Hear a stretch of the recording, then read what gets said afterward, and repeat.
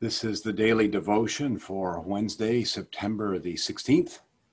I'm Pastor Dave Brighton, and uh, today we're going to learn an important Greek word, and that word is meno. Meno. It means to remain, to stay, to abide. One of my mom's favorite hymns is Abide with Me. Abide with me, fast falls the eventide. The darkness deepens, Lord, with me abide. When other helpers fail and comforts flee, help of the helpless, oh, abide with me. What comfort that gave me as a young boy when we had our family devotions after supper at the dining room table and the candle was shining there on the, the table and the sky was growing dark into evening.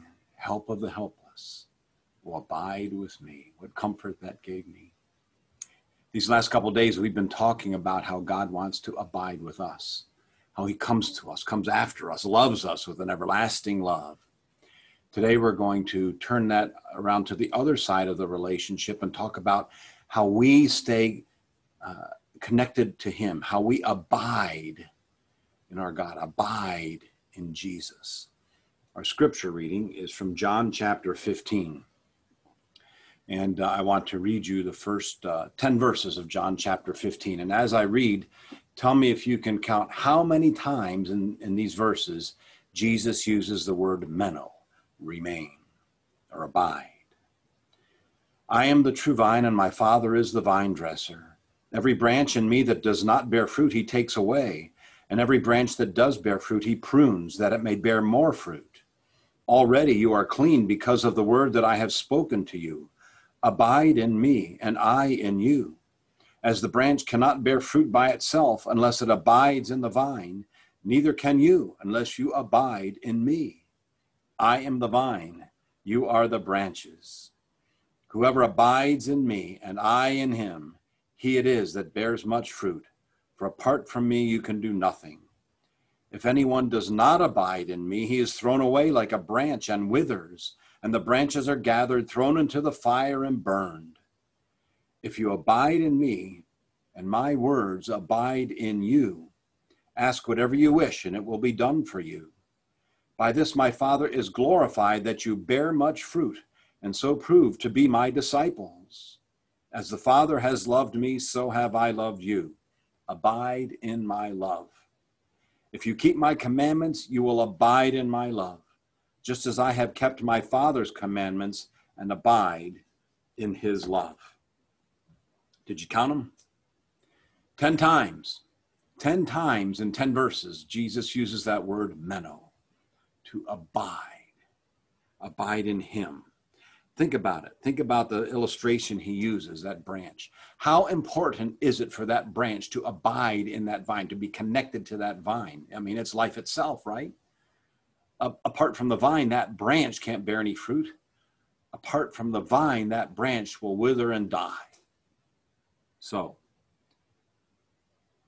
how do we stay connected to the vine? That's life, right? To abide in Jesus. It's simple, really. We read and study his word for one thing, right? We, I, I really like a, a daily devotion in the morning so that all day it can kind of be percolating in our mind. And when we say we're going to read, you know, the Bible, that doesn't mean we just, you know, like a cursory reading, like we look at a magazine or look at somebody's Facebook page.